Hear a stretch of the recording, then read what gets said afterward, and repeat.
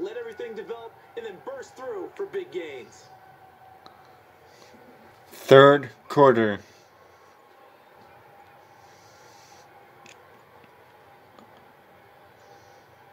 They stay on the ground. This time it's Johnson.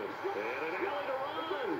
And he gets it inside the 35 and just shy of the 30.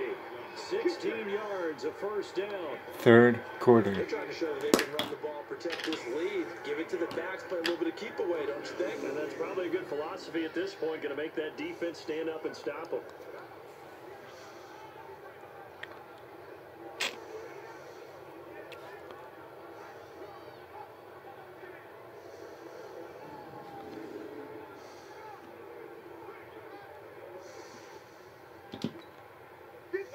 Scrimmage, the 31 now on first and 10.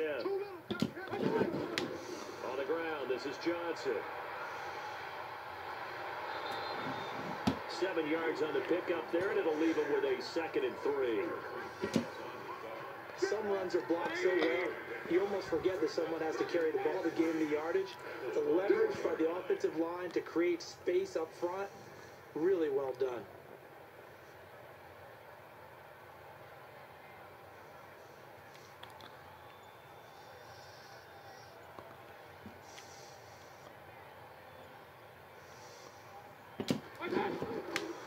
They